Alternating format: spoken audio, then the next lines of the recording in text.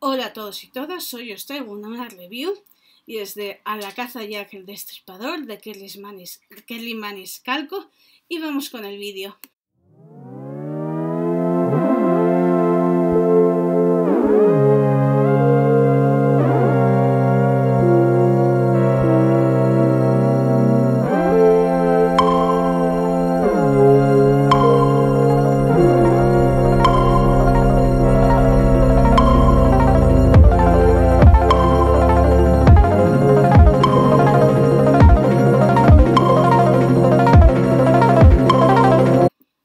Bueno, este libro es de editorial Puck con sobrecubierta. Pero además nos viene aquí la autora. Es un libro que tiene 345 páginas. Es el primero de una especie de saga, por así decirlo, que se puede leer de manera independiente, ya que aunque la protagonista es la misma, los casos son totalmente diferentes.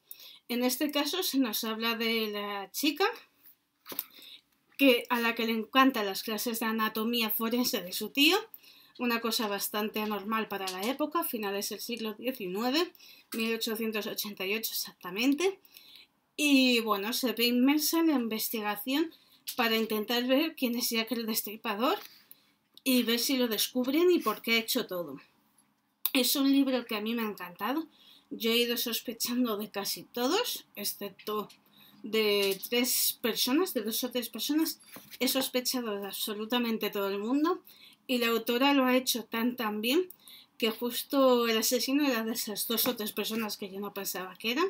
No voy a decir quién es para no desvelar, pero es un libro que me ha encantado. Además nos deja un final del libro para hilarlo con el siguiente eh, totalmente genial. Solo os digo porque ya se sabe que el siguiente es sobre Drácula, pero deja un final que ves claramente que es sobre Drácula. Es un libro que me ha encantado. Sí que tiene escenas un poquito difíciles para los que tengáis un poco, los que seáis un poco sensibles, ya que describe bastante bien eh, muchas anatomías que se hacen forenses, bastante bien con todos los órganos internos y demás. Pero por lo demás es un libro que recomiendo totalmente. Y bueno, hasta aquí la review. Como siempre espero que os haya gustado, que le deis a me gusta, suscribáis a mi canal y lo compartáis en todas vuestras redes sociales y muchísimas gracias por estar ahí.